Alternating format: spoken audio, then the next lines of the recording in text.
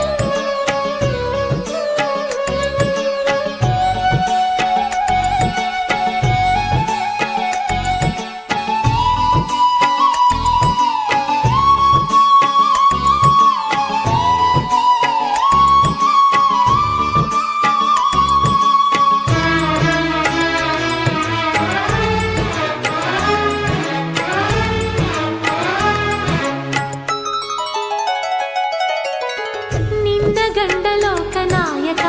ನೀನು ಅವನ ಹೃದಯ ತಾರಕ ನಿನ್ನ ಮಗನು ಲೋಕ ತಾರಕ ನೀನು ಅವನ ಸೃಷ್ಟಿ